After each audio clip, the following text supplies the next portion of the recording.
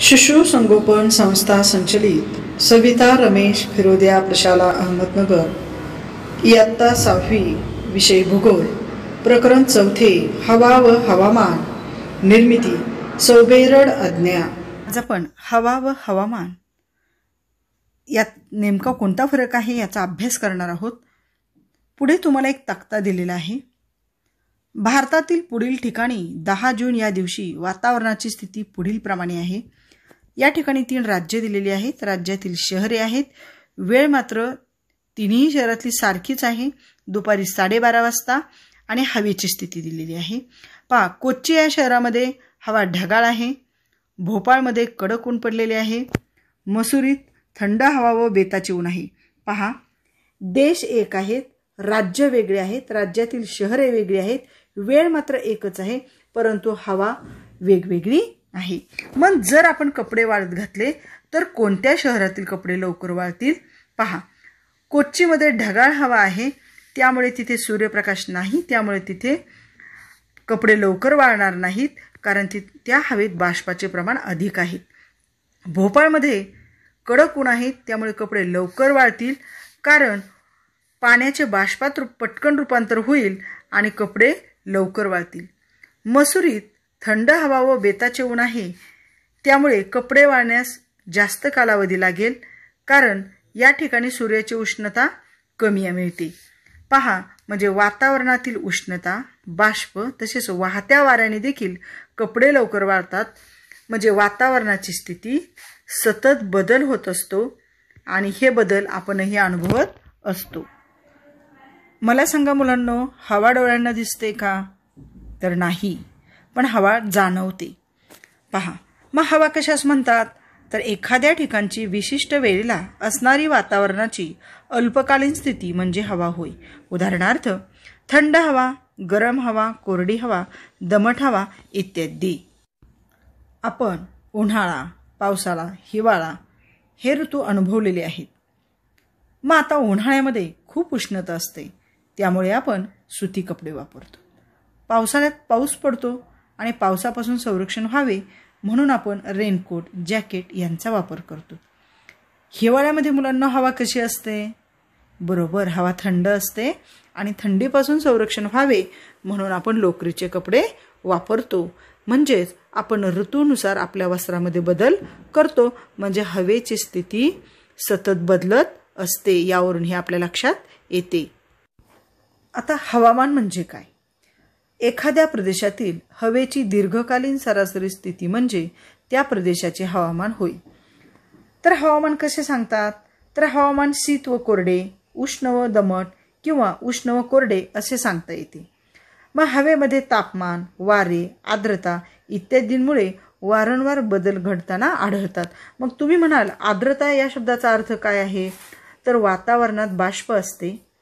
ज्या हवेत बाष्प जास्त असते ती हवा दमट असते. उदाहरणार्थ समुद्र किनाऱ्याजवळची हवा ही दमट असते कारण त्यात बाष्प जास्त असते त्यालाच आर्द्रता असे म्हणतात. हवेची अंगे तापमान वायुदाब वारे आर्द्रता वृष्टी ही सर्व हवेची अंगे आहेत. त्यांचा आपल्या दैनंदिन व्यवहारावर व जीवनशैलीवर परिणाम होत असतो. हवेच्या या अंगाचा विचार हवामान सांगण्यासाठी केला जातो. तापमान. मुलांनो आपण जेव्हा दुपारी बारा एकच्या सुमारास घराबाहेर पडतो तेव्हा आवर्जून चप्पल घालतो. जर आपण चप्पल घातली नाही तर तेव्हा आपल्या पायाला चटके बसतात. का बरं चटके बसतात? कारण जमीन तापलेली असते. कशामुळे? तर सूर्याच्या उष्णतेमुळे. म्हणजेच पृथ्वीच्या पृष्ठभागास सूर्यापासून उष्णता मिळते व या उष्णतेमुळे पृथ्वीचा पृष्ठभाग तापतो. समुद्रसपाटीपासून जस जसे उंच जाऊ तस तसे हवेचे तापमान कमी होते. मग पर्वतमय प्रदेश हे समुद्रसपाटीपासून उंच आहेत आणि त्यामुळे तेथे हवेचे तापमान कमी होते आणि त्यामुळे तेथली हवा थंड असते. अशाच प्रकारे विषुवृत्तापासून दोन्ही ध्रुवांकडे तापमान कमी कमी होत जाते. वायुदाब हवेला वजन असते त्यामुळे हवेचा दाब निर्माण होतो हवेच्या दाबाला वायुदाब म्हणतात.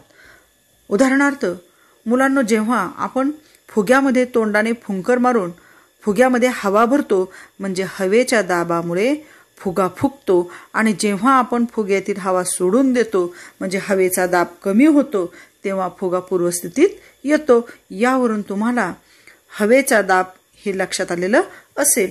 पहा मग पृथ्वीच्या पृष्ठभागालगत वायुदाब जास्त असतो. उंचीनुसार तो कमी होतो हा ऊर्ध्व वायुदाब होय तापमानातील फरकामुळे देखील वायुदाबात बदल होतो. हे बदल क्षितिज समांतर दिशेत घडतात. त्यामुळे हवेचे वाऱ्यात रूपांतर होते. वारे जास्त वायुदाबाकडून कमी वायुदाबाकडे हवा क्षितिज समांतर दिशेत वाहू लागते. त्यास वारा म्हणतात. म्हणजे जास्त वायुदाबाकडून कमी वायुदाबाकडे या ठिकाणी हवा वाहते आणि त्यामुळे वारे निर्माण होतात. वायुदाबातील फरकामुळे वाऱ्याचा वेग ठरतो. उदाहरणार्थ आपण म्हणतो वावटर आली किंवा सोसाट्याचा वारा आला मग वावटर आली म्हणजे काय? तर आकाशामध्ये पालापाचोळा मातीचे कण कागद गोल गोल वेगाने फिरताना दिसतात. मग आपण म्हणतो वावटर आली म्हणजे हवेच्या दाबाच्या फरकामुळे असे वारे निर्माण होतात.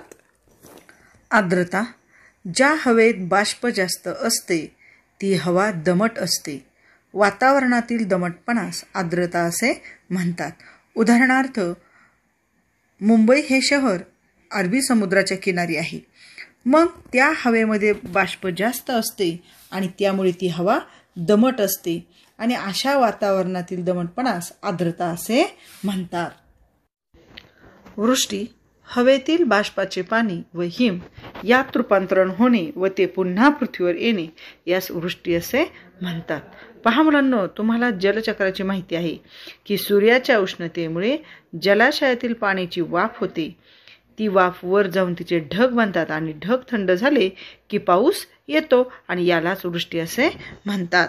मग पाऊस हिम व गारा ही वृष्टीची रूपे आहेत. पाऊस हिम गारा ही वृष्टीची रूपे आहेत. पाऊस तर सर्वांनाच आवडतो. हिम हिम म्हणजे काय? बर्फाचा वर्षाव. म्हणजे हिमवर्षाव. मग भारतातील काश्मीर या ठिकाणी असा हिमवर्षाव होत असतो. म्हणजे ते डोंगर आपल्याला बर्फाने आच्छादलेले दिसतात. म्हणजे पाणी हे बर्फाच्या रूपात साठवलेलं असतं. केव्हा केव्हा आपल्याकडे गारांचा पाऊस पडतो. मग त्या टपोऱ्या पांढऱ्या शुभ्र गारा गोळा करायला सर्वांनाच आवडतात. म्हणजे गाराच्या रूपात पावसाचे पाणी जमिनीवर येते. म्हणजे पाऊस हिम आणि गारा ही वृष्टीची रूपे आहेत. हवा व हवामान यातील फरक. हवा हवा कशी आहे हे त्या त्या वेळेनुसार सांगतात. तर हवामान दीर्घकालीन परिस्थितीनुसार सांगतात. हवेत सतत बदल होत असतो व तो सहजपणे जाणवतो. हवामानातील बदल दीर्घकाळाने होतात ते सहज जाणवणारे नसतात. अक्षवृत्तीय स्थान समुद्र सपाटीपासूनची उंची समुद्र सानिध्य सागरी प्रवाह हे घटक हवामानावर परिणाम करतात. उदाहरणार्थ मुंबई हे शहर समुद्राच्या जवळ असल्याने मुंबईचे हवामान उष्ण व दमट आहे. याशिवाय पर्वतरांगा जमिनीचा प्रकार स्थानिक वारे इत्यादी घटकांचा देखील त्या त्या प्रदेशातील हवामानावर परिणाम होतो. उदाहरणार्थ मसुरी हे ठिकाण पर्वतीय प्रदेशात असल्याने तेथील हवामान थंड आहे.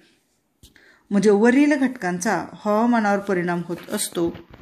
एखाद्या ठिकाणच्या हवेत सतत बदल होत असतो. पण त्या ठिकाणाच्या हवामानात सहसा फरक पडत नाही. हवामान सर्व ठिकाणी सारखे नसते. आपल्या भारतात सुद्धा हवामान कोठे शीत तर कोठे उष्ण कोठे दमट तर कोठे कोरडे असते म्हणजे हवामानात विविधता दिसून येते. हवामानाचा परिणाम संपूर्ण सजीवसृष्टीवर विविध प्रकारे होत असतो. बहुतांश सजीवसृष्टी पोषक हवामान असलेल्या प्रदेशात दिसून येतात. सजीवांचा आहार निवारा या बाबींवरही हवामानाचा परिणाम होत असतो. उदाहरणार्थ पहा बर्फाळ प्रदेशामध्ये पांढरे अस्वल दिसून येते. तर केरळ कर्नाटक या भागामध्ये हत्ती हा प्राणी राहतो. म्हणजे योग्य हवामानानुसार प्राणी आपलं अस्तित्व टिकून त्या ठिकाणी ठेवतात. पृथ्वीवरील पाण्याचे वितरण देखील हवामान नियंत्रित करते. मग आज आपण मुलांना हवा आणि हवामान यातील फरक लक्षात घेतला. हवेची विविध अंगे लक्षात घेतली.